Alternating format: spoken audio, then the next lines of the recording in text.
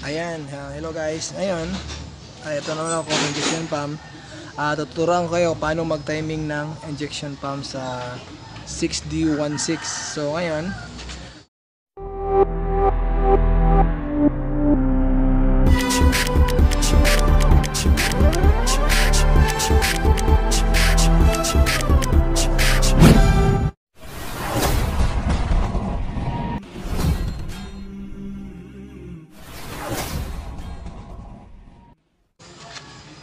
gagawin natin, tatanggalin natin yung takip ng injection pump. Ayan. Tatanggalin natin. Ayan.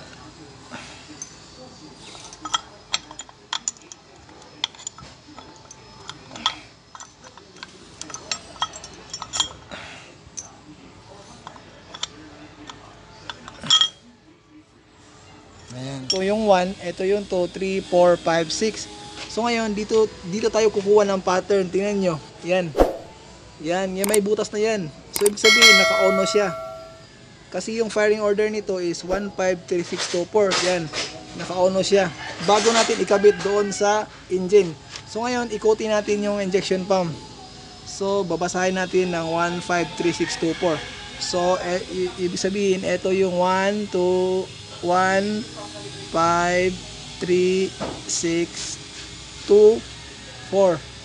So ngayon, iikutin natin. Tingnan yung butas na yan. So ang susunod, 5. Ito yung 5. So ikutin natin. 1. Yan. 1, 5. So 3 sunod. 1, 5, 3. Yan, 3. 1, 5, 3. Tapos, 6. Yan, 6. 1, 5, 3, 6. 2. Yung 2. 15362. So, ang susunod, 4. Yan, 4. Kita nyo butas? 4.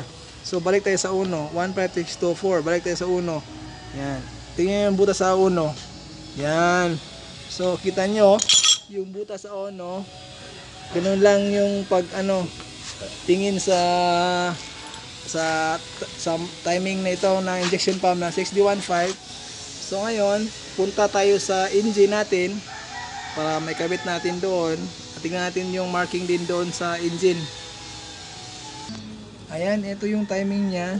Yan number 6 at sa guwit at saka yung 0. Na yan, may guwit to. So ganun lang yung pag-timing. Tap nyo na sa ano. Dito may kita sa flywheel. So ngayon, makikita dito, ito yung slots ng injection pump. Yan, ito yung kinakapitan doon, yung isa. Yan, dito sa kabila. Ito, dito yan. Ikakabit natin siya doon sa injection pump. Ayan, matanggal yan. Yan, ito matanggal yan. So, ayan. ah ganyan lang. So, eto siya. So, dito yun ikakabit natin. Tandaan nyo lang, paano mag-ono nito. Ito lang. Buksan nyo ang takip. At saka itap mo lang yan. Ayan, yan uno. So, ganoon lang. Pagkabit doon, apat na bolt. Apat na bolt, yan. Ikutin mo lang yan doon. Ikutin mo doon para matiming na. Kahit doon, konti lang yung, konti lang yung gap doon, clearance doon. At saka dito, So ngayon, ikakabit natin yung injection pump natin. So, takip na, takip na natin. Ayan, so ngayon, um, ikakabit natin yung injection pump.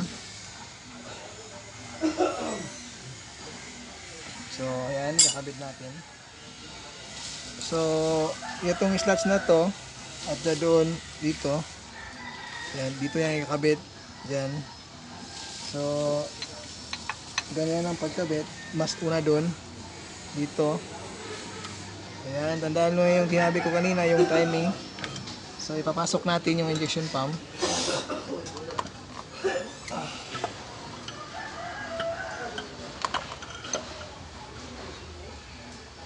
Ayan so ngayon kuha tayo ng 10 10 mm dukutin natin doon sa lalim. Tapos ikutin natin kung saan yung nakaporma dito sa sa dito sa engine. So ikutin natin kasi hindi ano yan papasok yan pag hindi ikutin yun. Yun, ito lang yung gamit natin. So, ayan. So, dito konti. Ayan. So, check natin.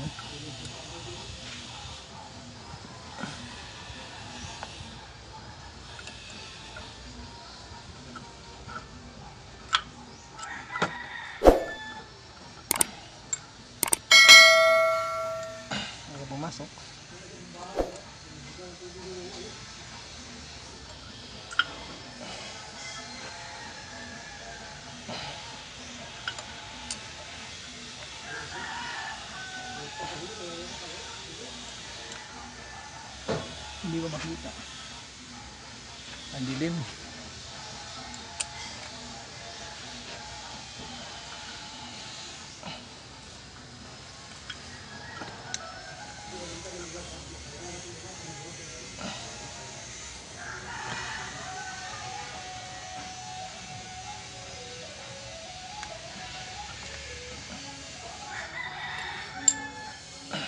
Yata. So, ganun lang. Ikutin lang.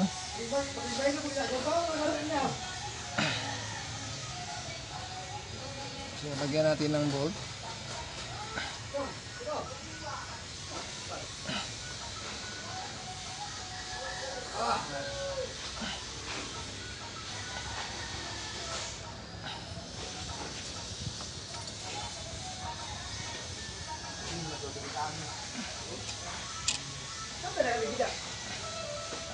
So, ayan, lagyan natin ng bolt guys. Para hindi tumalon yung timing natin.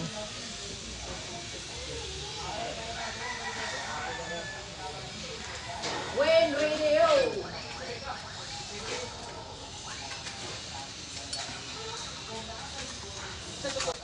Ah!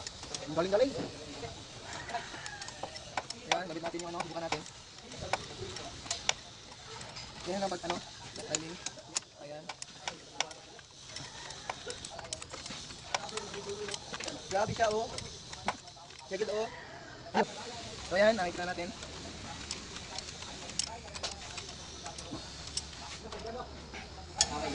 So, ganun lang yung pag-timing guys. So, sana nakakuha kayo ng idea. Ganun lang po yun. Ayan. Sige lang.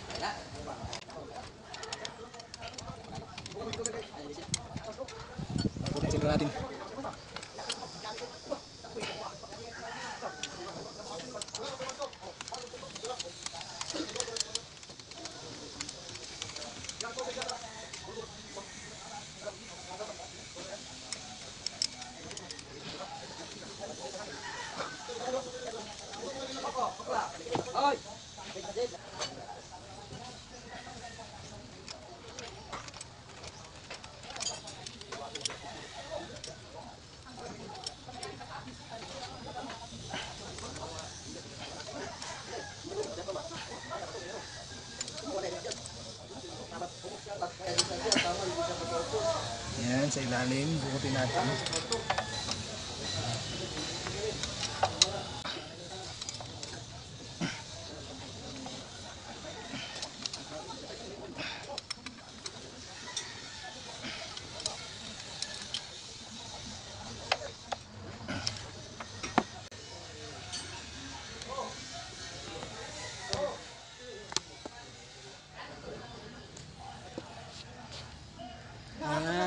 So ganyan lang po pag timing guys. Ayan, so ganun lang yun. Sana tandaan nyo. Ulit-ulitin nyo. So, ayan yung kanina sinabi ko ngayon kanina, kanina. At saka yung timing dyan sa dito, kailangan nakatap siya, naka 6, go it, at saka 0. Kailangan nandoon sa go it. Ayan. So, konti na lang yung accessories. So mga injector, fuel lines na lang kasi ano ito eh, injection pump niya sira. Ah, pinakalibrate namin yung injection pump. So, ayan, itinuro ko lang kung paano ikabit yung injection pump. So, ganun lang guys, buksan natin yung takip dito at saka ikutin natin yung sinabi ko kanina, kanina yung butas, doon lang kayo mag-tap. Ayan. Ah, tapos dito, tap din sa flywheel. So, ayan, sana ay nakatulong ako sa inyo. So, yun lang. Salamat.